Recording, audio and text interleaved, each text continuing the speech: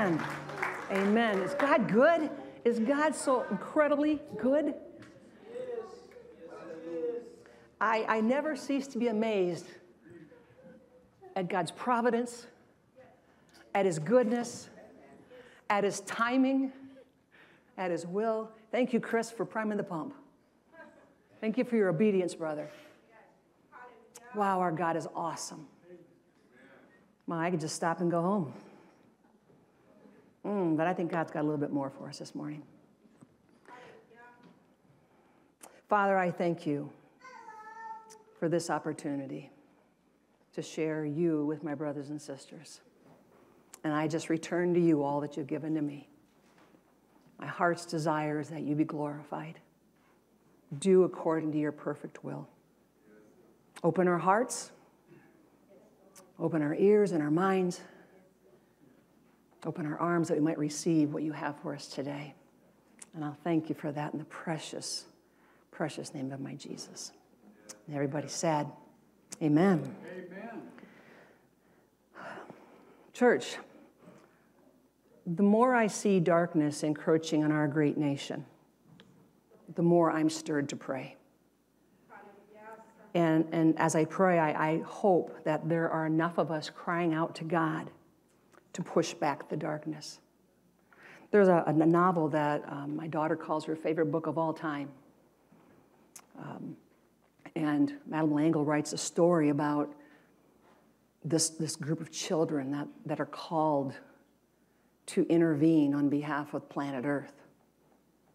And they are shown a black cloud that is encroaching upon planet Earth. And they are tasked with responsibility to, to fight against that darkness.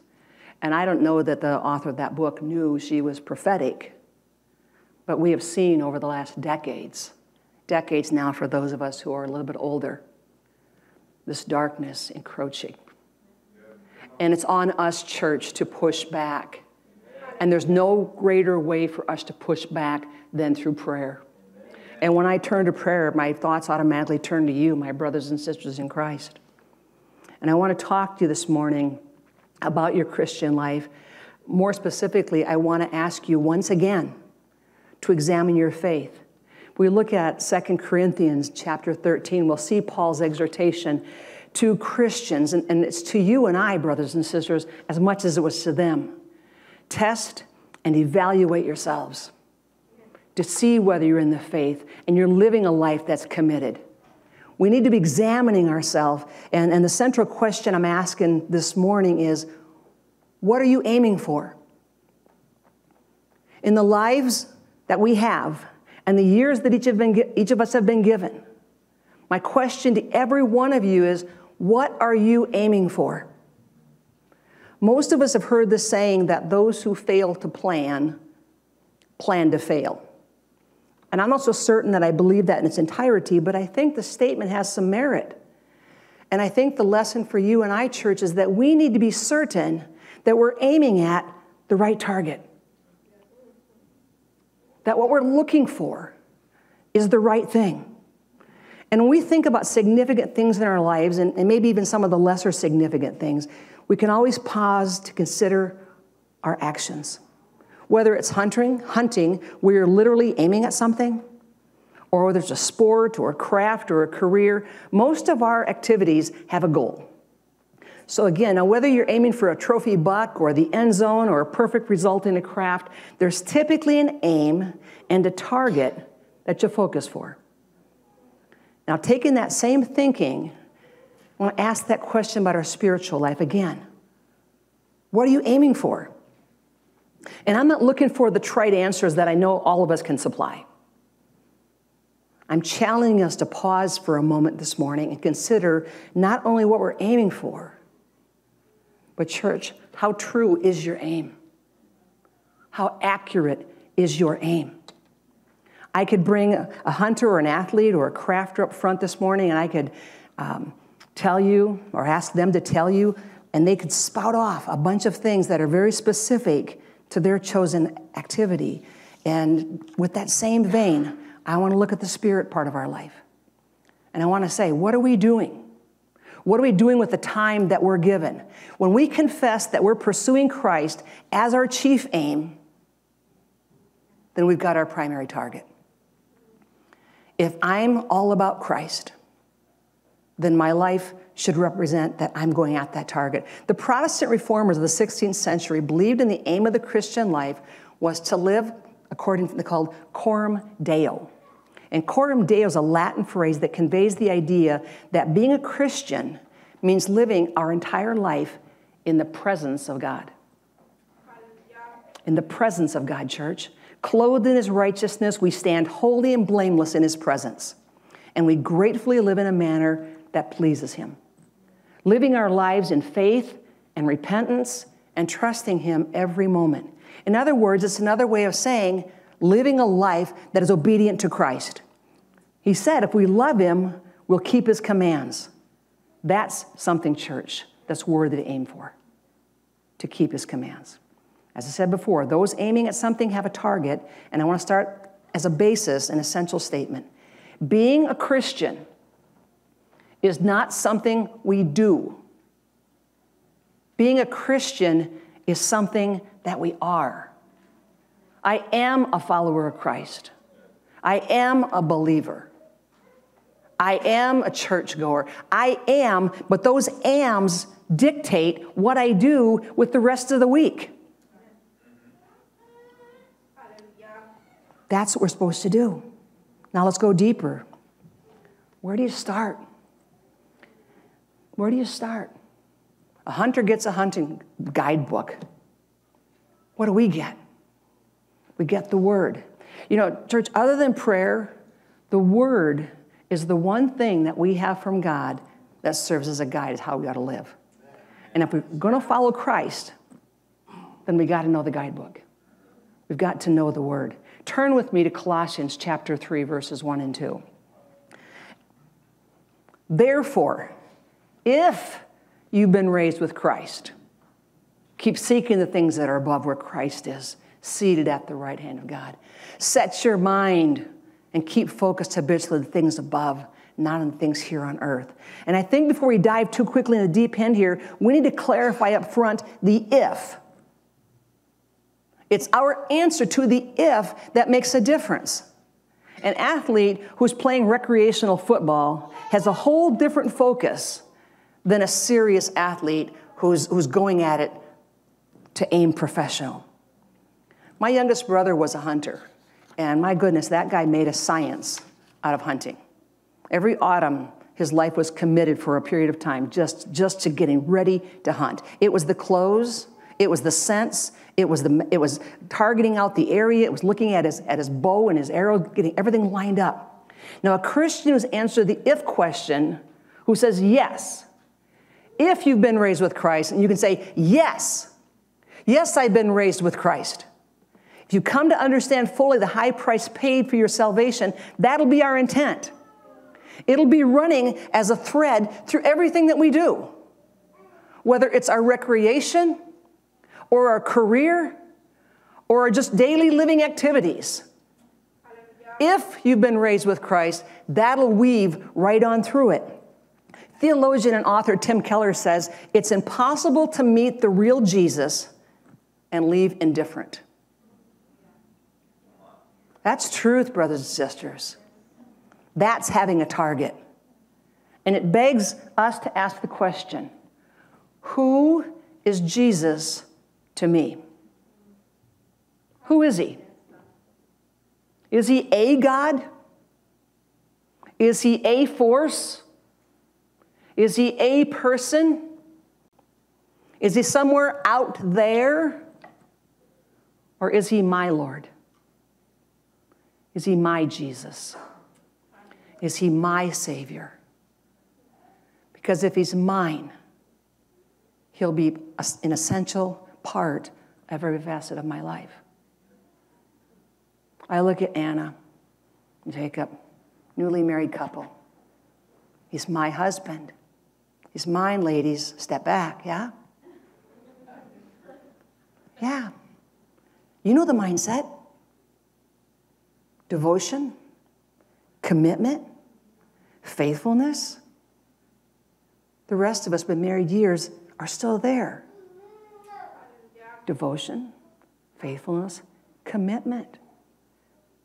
Now, what about your walk with your Savior? Is he a Wednesday, Sunday kind of guy? Do you date him? Or is he every part of your life, church? Who's Jesus to me? You know, we've got a target, and now we set our sights. And I did a little bit of research. I'm not a hunter, and I'm not good with guns. So I had to check and see what about sights? What are they there for? Well, sights help you pinpoint and to make sure that your aim is true. If your sights are off, chances are you're going to miss the target. So let's look at our sights. For those of us who've encountered Jesus, let's go back to Colossians again and look at the word keep. In Colossians chapter 3, 1 and 2, look at the word keep. It's here a couple different times. And you can see the implications there. Keep seeking, keep focused. Don't do it one time, but make a habit of it. Keep doing it. You see his implication? Keep it. Keep going. Keep going. Do you understand? It's an action that's continual. It's not a one time deal. It's not meet me at the altar and get up and do whatever from there on out. It's not that at all. Keep seeking the things that are above. Keep focus habitually on the place where your Savior sits. Jesus Christ is in heaven, seated at the right hand of God, and that's where our focus should be. And then there's the word habitually. Isn't that instructing us to make a habit of keeping our focus on those things that are above and not the things of the earth? Last week, when he was speaking, Pastor talked to us and said, We need to learn to look at things from a heavenly or a spiritual frame. We don't look at the world through a Christian frame. We've got to put Christ right here and see everything through him, not the other way around. To pursue Christ, church, we need to set our sights on where he is. And where is he? He's in heaven at the right hand of the Father. And we need to keep reminding ourselves and refocusing on the things of heaven until it becomes second nature to us. How many are familiar with the phrase muscle memory? Muscle memory. How do you get muscle memory? Doing it over and over and over, repetition until you've got it, until it comes a point where you don't even think about it. You just do it. That's what we need, church. We need to get to a place where we habitually keep our focus on Jesus Christ, and He's in every part, every facet of our life until it just becomes second nature. You do it and you do it and you do it and you do it and you remind yourself, go back, go back, go back until you've got it. We need to teach ourselves to make a habit of seeing the things on earth through that heavenly frame. And it's easy, it's just so easy with our earthly mindset to react and respond to the world. Why? Because it's right here present in front of us. It's screaming at us live with bright lights flashing all of our waking hours. Our technology has advanced so much that it's hard to escape it. When I was hearing Thomas talk about going to camp, you unplug them from their media? Whoo, boys. That's awesome.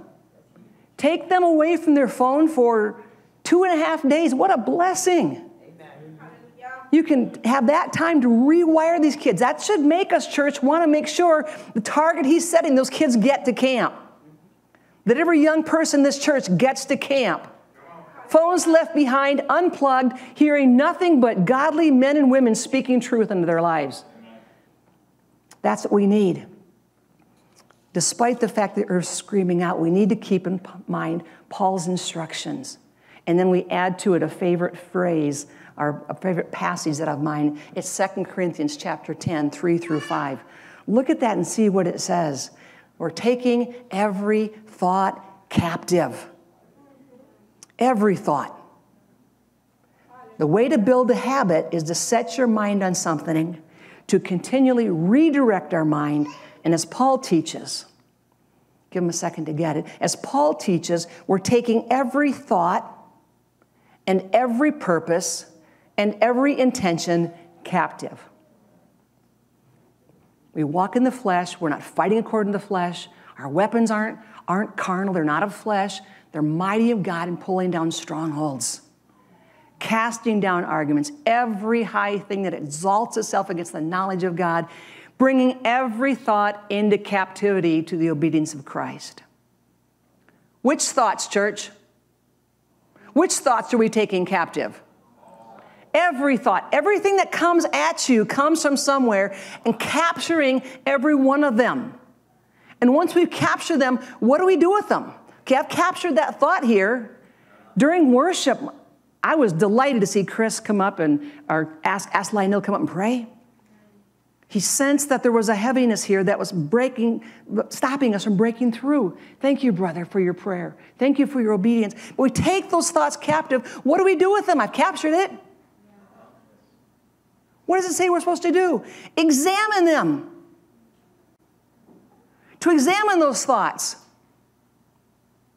And then what? Then what do we do to them? Bring our thoughts, our purposes, our intentions into obedience to Christ.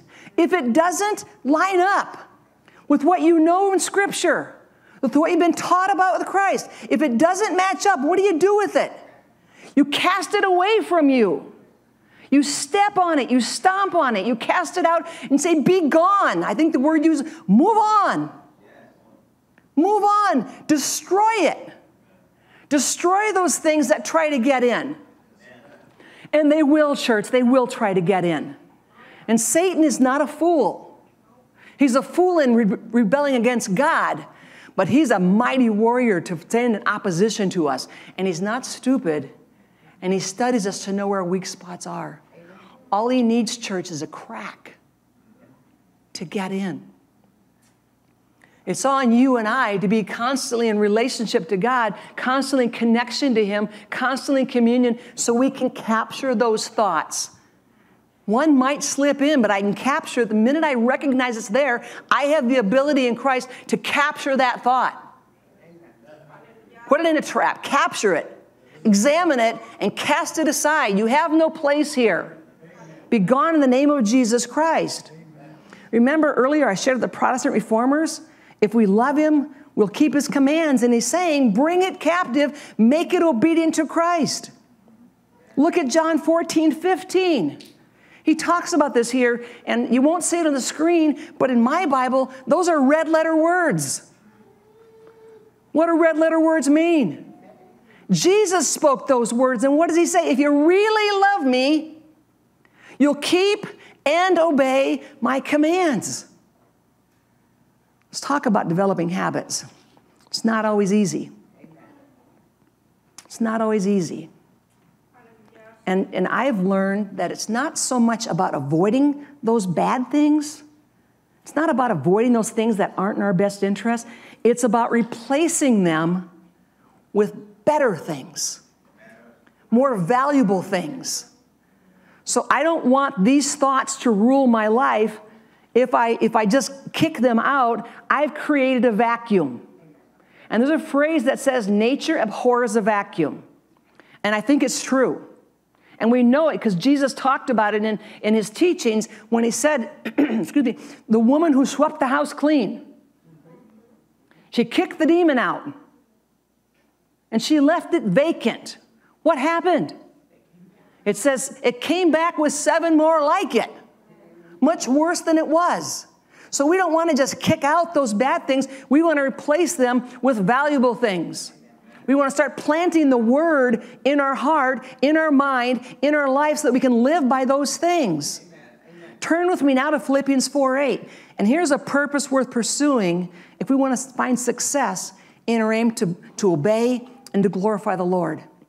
Finally, believers, whatever is true, whatever is honorable and worthy of respect, whatever is right and confirmed by God's word, whatever is pure and wholesome, whatever is lovely and brings peace, whatever is admirable and of good repute, if there's any excellence, if there's anything worthy of praise, think continually, habitually on these things. Center your mind on them and implant them in your heart. There's the lifestyle change. There's the purpose worth living for.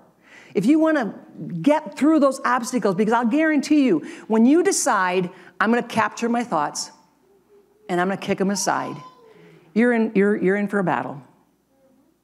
Because what's going to happen is the enemy's going to come at you harder and faster, and bam, bam, bam, bam, bam, they're coming. And you're capturing, capturing, capturing, capturing, kicking them out. But we've got to replace them. We've got to replace them. It says we were taking every thought captive to the obedience of Christ. So as we overcome the obstacles, we battle our flesh, as we battle the enemy of our souls, we purpose to build a new habit.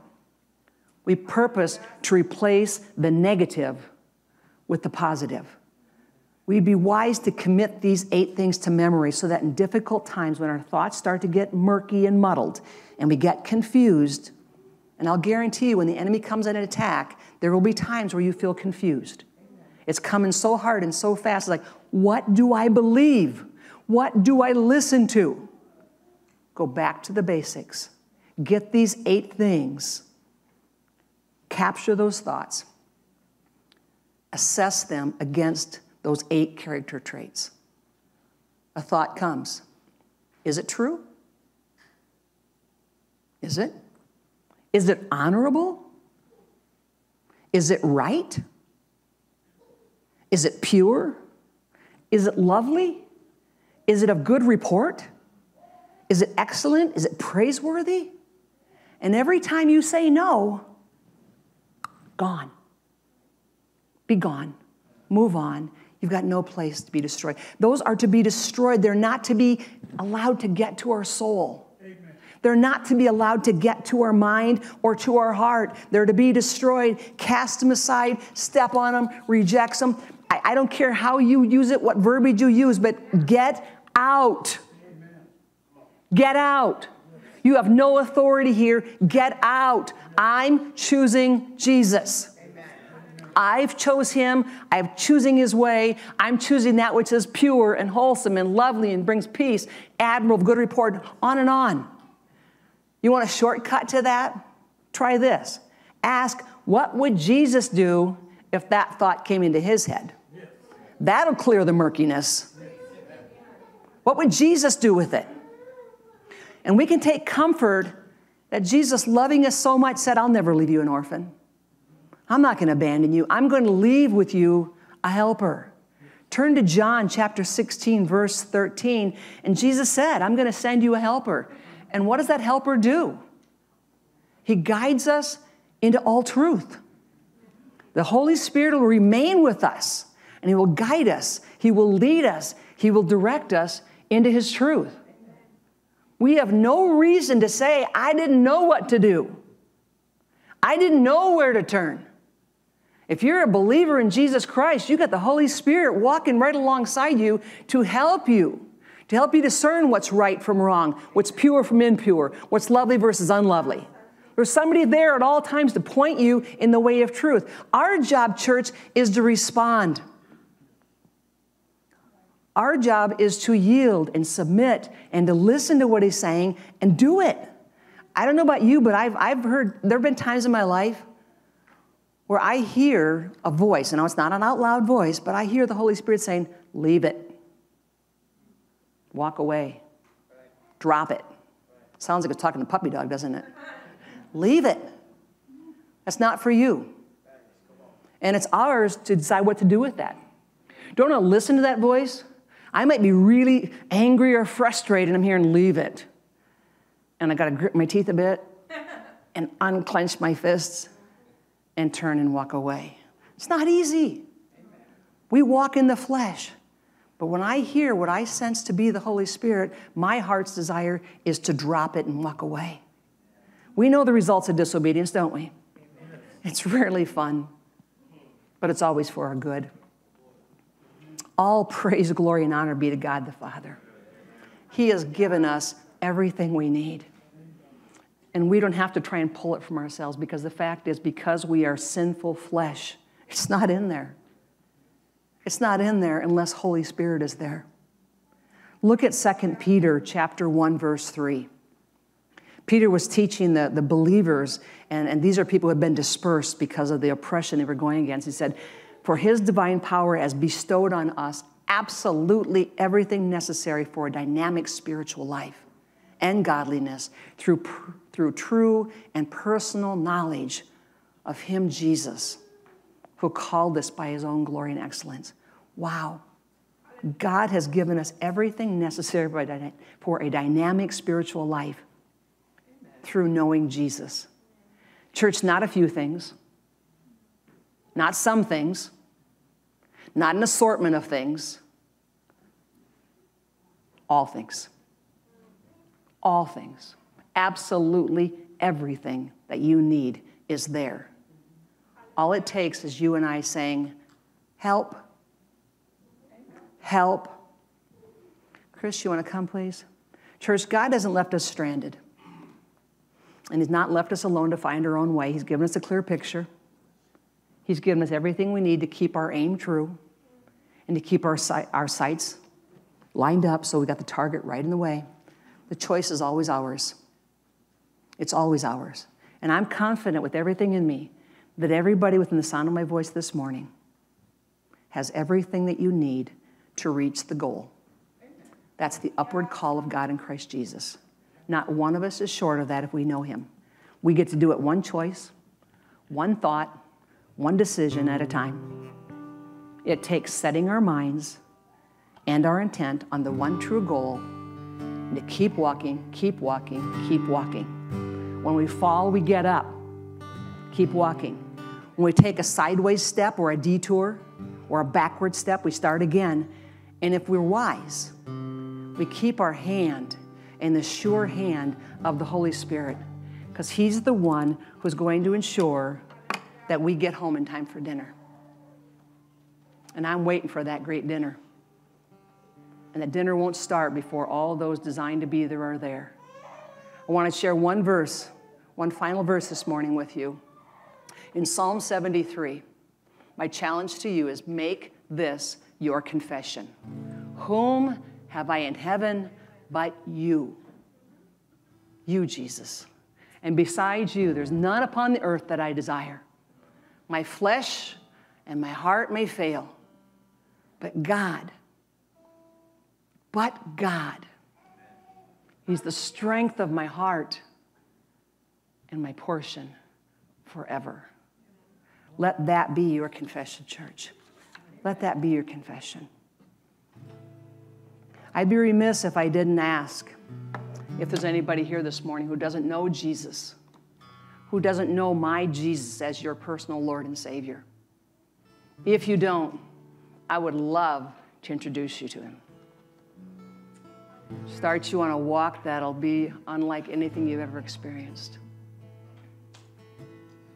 So if there's anybody here who has that need, just wave at me, and we'll get some folks to pray with you this morning. Aside from that, church, if you came in this morning with a burden, and what I've learned in my life is that there's nothing too insignificant to talk to God about. I have prayed about some silly things in my life. I've prayed over lawnmowers. I've prayed over tire lug nuts. I've prayed over people. I've prayed over a lot of things. And God has never failed. He may not always answer the way I want, but God has never failed to provide an answer. So if you came in this morning with anything, however big, however small, please don't leave. Don't go out those doors or that door carrying it. Bring it to the Lord. I have brothers and sisters here who will gladly join us in prayer. So if you got a need of any kind this morning, I invite you now just to come. I'll give you just a few moments to come.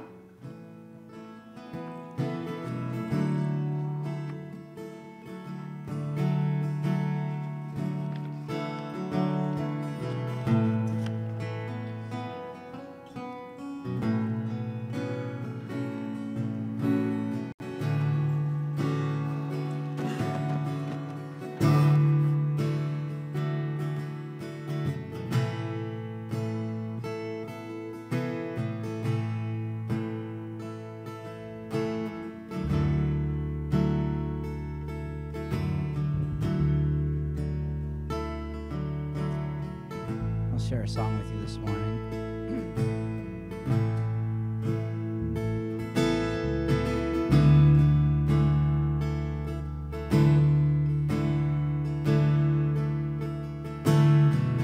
Gotta be on the other side of this place I'm standing in. Gotta be on the other side of this plane I'm living in.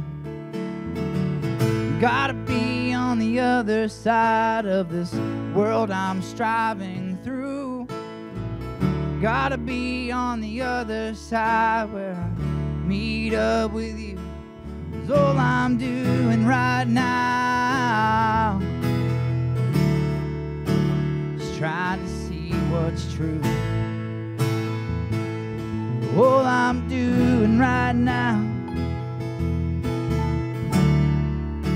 Is searching hard for you. Gotta be on the other side of all this unbelief. Gotta be on the other side where I know I can be free. Gotta be on the other side of this world of fear and lie. Gotta be on the other side of everyone's disguise. All I'm doing right now, I'm giving in.